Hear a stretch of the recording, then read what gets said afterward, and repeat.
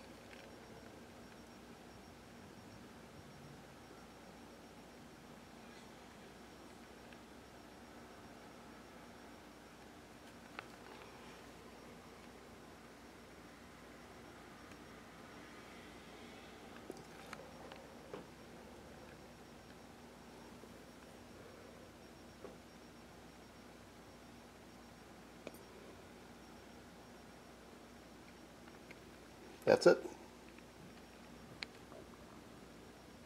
And there's another comic inside.